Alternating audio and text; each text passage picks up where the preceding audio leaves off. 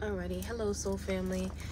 Um it has been a heavy few days and I just want to say that it's okay if you've been crying these last few days a bunch of times.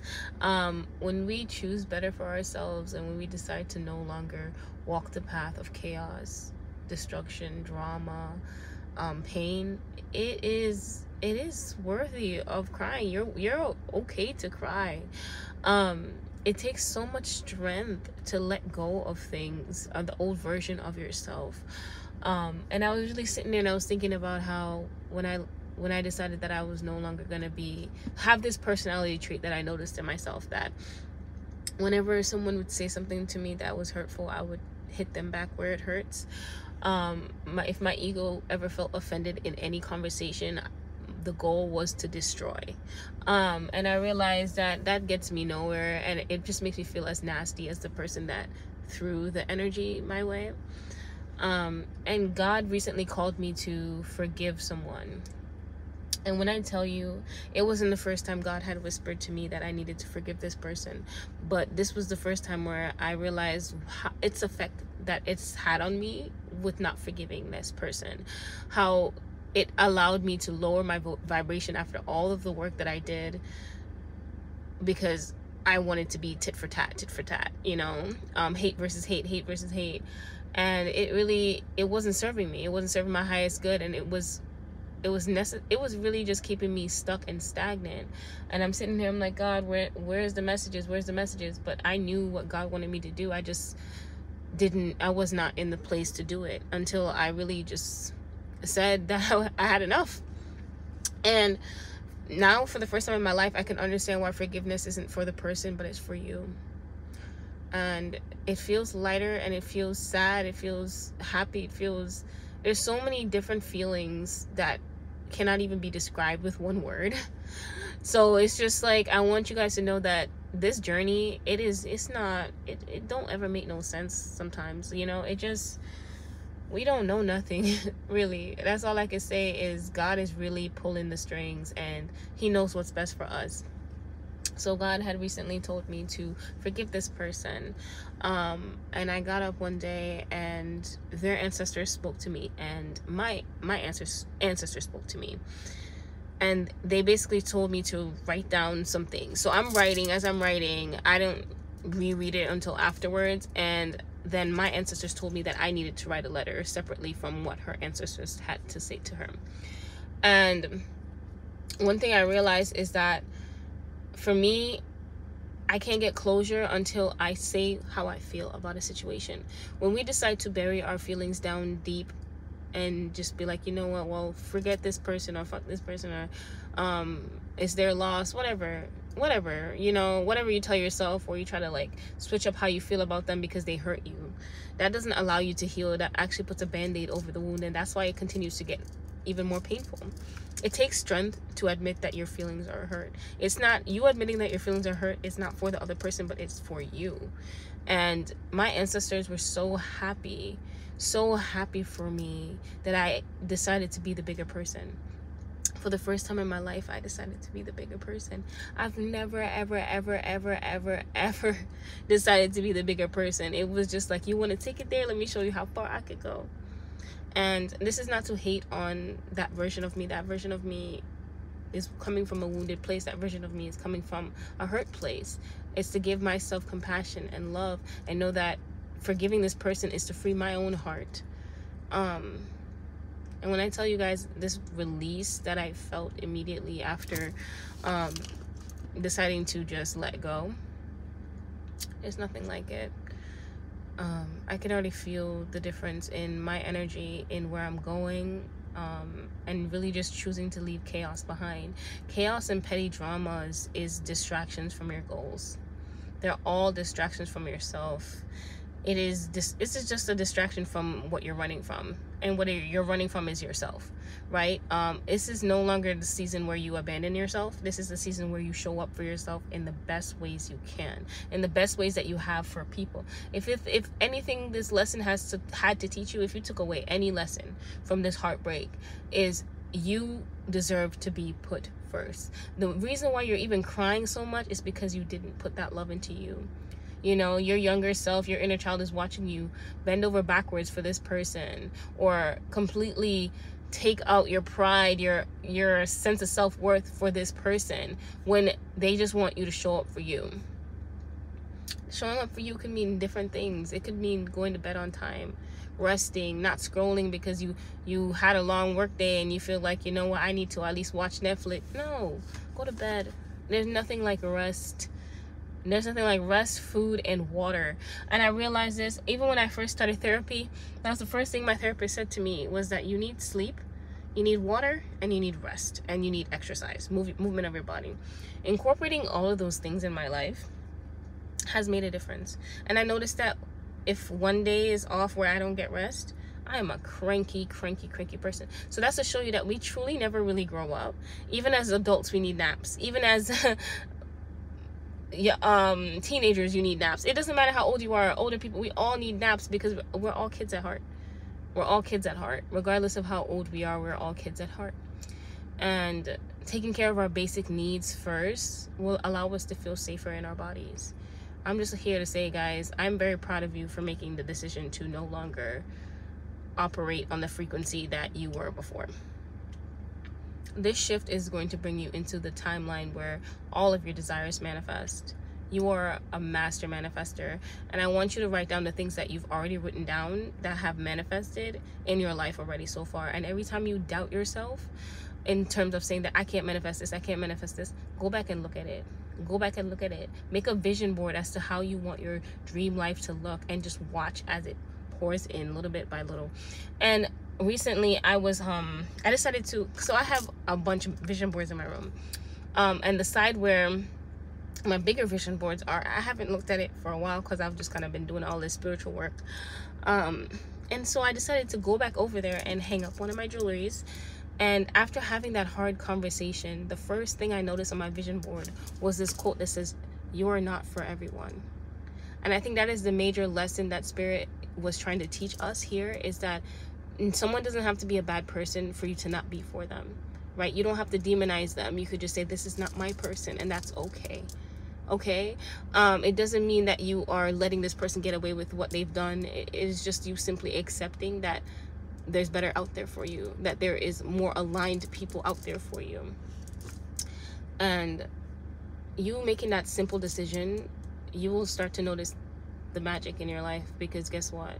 You no longer settling for scra- for scraps. You're no longer selling for less. You're settling for you're not settling period. You're just choosing what's best for you. And I think this was to show you more about yourself because you didn't really understand who you were at your core. You just became and morphed into this person that everybody told you you, you were you know and it created this super person of all of the external validation all of the external beliefs that other people had on you. It became your personality but you still felt empty on the inside because you didn't really resonate with those things but now that you're deciding to choose yourself and choose healthy boundaries, choose healthy people, you're beginning to see who you really are, who your authentic person, who the authentic version of you is. And it's not anything that anyone has told you in the past. And it, it can feel scary. I trust me, I get that. But you are on the right track and it's only going to get better from here. You're only going to continue to learn and develop an even stronger relationship with yourself okay. Um i brought out some cards. Let's see. Let's see which cards to share with you guys. So i had pulled three cards in my meditation today from my wisdom oracle deck and i felt like i needed to share it today so i'm going to share it with you guys. So first of all this card that says clean up. Some of you guys you're you're surrounded by a lot of clutter and spirit is saying that it's time for you to throw out old items that remind you of who you used to be. Remove things that remind you of who you used to be because you are entering into a completely new reality. You need to declutter. Donate what no longer resonates with you. Try on those clothes. If they don't resonate anymore, it's time to throw them away. And not only that, like, um, recently I completely deleted my Instagram and I completely um removed a whole bunch of people from my contacts list. That those are also energetic con- connections as well. When we keep people when we follow people that's an energetic connection. And you also you just seeing their profile pop up on your feed is a reminder of whatever experience you guys shared together. Um so just removing that because guess what? We know nothing even belongs to us. I promise you it feels scary until it, it doesn't. So i began with throwing out a whole bunch of my old t-shirts that reminded me of who i used to be because i was like okay i'm not on that frequency anymore. Um removing my my follower completely deleting my instagram and starting over because this is the new version of me and i don't need to be reminded of my past because that's not who i am anymore. The past doesn't exist. I left it there. And it felt so like it felt so freeing because it's just like you don't exist anymore just because I deleted my Instagram. You see how social media isn't real because it's just like, where'd they go? They went off into the abyss. I don't know. Um, but it's just to say, guys, if whatever you need to do to fully support this new version of you, if you need to cut your hair, if you need to start over, it's okay. Spirit will support you regardless, okay? Um, chaos and conflict I pulled as well. This card basically talked about how you are no longer in the frequency of chaos and conflict. But to, to let you know that through chaos and whatever you're dealing with um that feels like you couldn't bear it or it felt so like it felt so almost like you just you felt like you couldn't breathe. Spirit was saying that that was for your growth okay? You are able to grow when you are put into uncomfortable situations. You grow the most when you're uncomfortable okay um and after any storm there must be sun okay? There must be a sense of okay? And now is the time for you to be resting and just relaxing. Um i pulled the soulmates card in reverse and this talks about how when we meet certain people in our lives and this this relationship although it may have come to an end it should be honored because we without those lessons we would not have been able to evolve right? So being thankful for the lessons that people come into our life and teach us. And that is one of the things my ancestors told me last night too. It's like you you did a good job. And this person was able to teach you the lesson that you needed to know about yourself to grow. And not look at it from a standpoint of what was me and oh my god i can't make friends oh my god like relationships don't work out for me no what did this teach you about yourself? Every time something does not work out there's a lesson in it. So you can take that with you to the next situation the next person and the next connection. What did you learn about yourself? You need to start writing that down. What did i learn from this connection? Completely switch your your, your pov okay? Um so those are just the cards i wanted to share. And then i'm going to pull angels and aura oracle deck because i feel like the angels are really like surrounding us right now during this these times of transformation. And the thing is that i was watching this video and this guy was talking about how angels they very they're very impressed with us like and very impressed with our work because we it takes a lot to be able to come to earth this realm and choose to walk in the frequency of unconditional love and choose to be on the frequency of love. It takes so much because you really have to swallow that ego. That ego that thinks it's trying to protect you right? So it keeps you from it keeps you from basically walking in unconditional love right? The ego is based off fear. Um but angels are very impressed with us because especially during the time now where spiritual warfare is so high it is interesting you know? It's just very interesting. All right let me flip and see any messages spirit? We have an open heart and an open mind at this time. Any guided messages? From the angels. Okay. Let's see. Okay archangel raphael. Okay so he comes through with a message for love travel humor and vitality. So what i'm getting before i even um, open this is focusing on our health right now is the best thing you can do. Mental and physical health right now. Eat nutritious foods eat green foods eat anything that can really support you and connect you back to mother earth um is what i'm getting called to tell you guys as well. Okay so let's see what the messages are. Archangel raphael green 14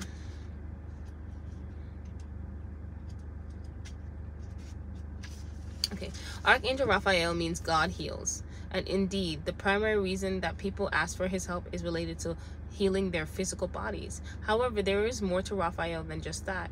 He is known as the Archangel of Travel. Hold on a second. So some of you guys may be um, traveling recent, recently or soon. Um, this trip i'm getting told that it's going to be very good for your mental health right now just let go do not focus on anything that you've left at home just fully embrace letting go and just being present. Um yes. So we all we always ask for his blessings when we fly to other locations. Okay raphael i ask for your blessing.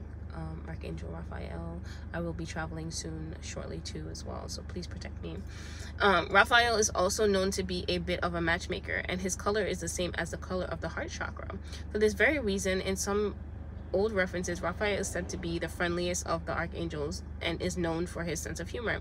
Also, some of you guys the ending of a connection spirit is saying that they're sending in soulmate connections they're sending in um whether that be friendships or whether that be romantic because now that you've known now that you get to see yourself from a different perspective and know that what you don't want you are more clear on what you do want. So spirit will send in exactly what you're looking for your match in terms of friendships or in terms of um, romantic connections okay?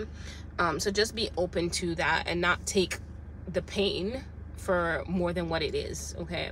Do not say i am destined to have uh, terrible connections. That's not that's not what that was not the lesson okay? The lesson was what is it that you're looking for in friendships what is it that is a better connection for you what is it that you value in friendships what is it that you value in relationships okay um However, we personally think all the archangels are super friendly and funny. Brilliant green is the color of communication and creativity. When green is present in the aura, the person is a master communicator. They express themselves from their core and light up a room. Often seen around budding couples falling in love. Green is a motivated color. So before I continue, some of you guys have really been able to speak your mind in terms of your feelings and it feels so liberating because you've never been able to do that before. And spirit is saying that you are a master communicator and you are doing a great job. The point of this whole healing journey is for you to be able to stand up for yourself. A wounded healer is of no help to god okay? Um you are not supposed to be bending over backwards to save everybody. You you need to stand on business okay? Standing on business. And i'm so happy that you stood on business. Um god is so happy that you are are finally seeing that you are the prize okay? And to not be out there wondering what you're missing out on. No people should be wondering what they're missing out on with you okay? Um let's see green is a robust color for a full life and it can inspire us to to new experiences like travel art and culture. Okay. So that's the messages from archangel raphael. We thank you king. All right guys. I just want to say i'm very proud of you guys for speaking your mind standing up for yourself. And look i'm just realizing i'm wearing green as well so confirmation. Um it takes a lot to do that. And i just want you to know that you are not alone. You're constantly being backed by your angels. You're constantly being backed by god. Um, and if you need any answers to anything just pray about it. Pray about it. Ask your angels for guidance. Um, the thing is we have to ask because everything is of free will. So it's not going to be just like okay i not think you need help but it's like do you want the help you know be open to receiving that help and that guidance and listening to that inner voice um it's gonna always be the key Alrighty guys, so don't forget to like, comment, and subscribe. I'm now doing Reiki healing sessions and I'm also doing personal readings. You can DM my Instagram at empathic.earth.angel on Instagram. It's a brand new Instagram Now, like I said, I just made one. Um, so yeah, so have a good day guys. Love you guys. Bye.